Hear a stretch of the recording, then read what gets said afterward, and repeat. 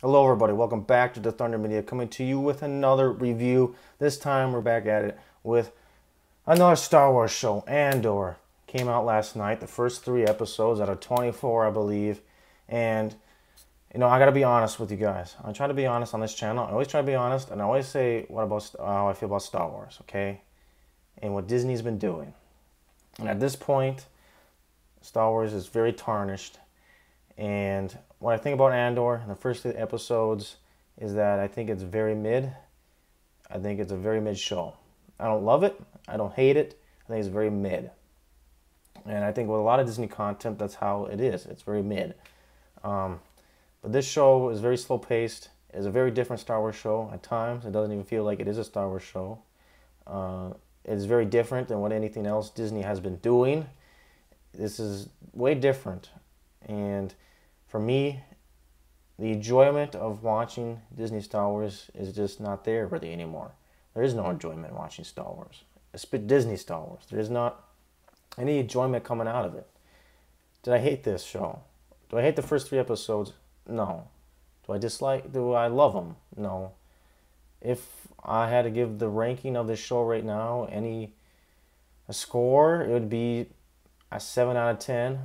I don't love it and I don't hate it. I think it's just a very, very mid show.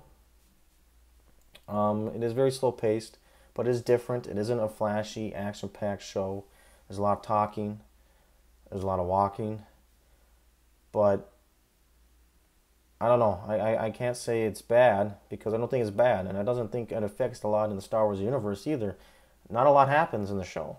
Three episodes, they really make a very elongated story about one little plot point they could have probably flourished out in one episode in 30 minutes.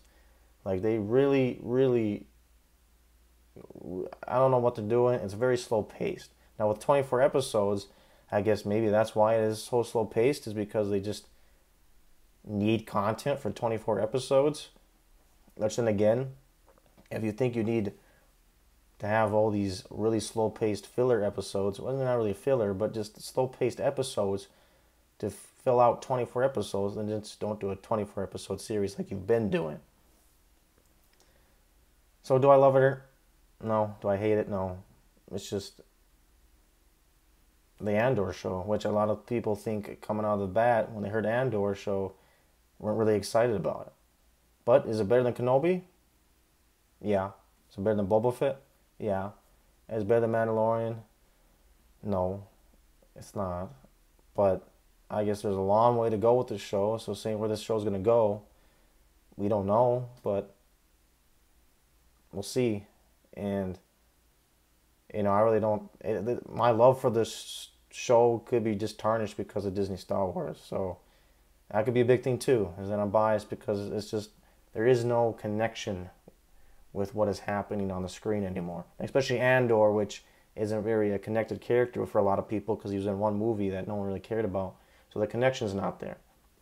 But I, I have to give it to them. They're not trying to do the cameos every week that people talk about. They're trying to trying to do a character-driven story.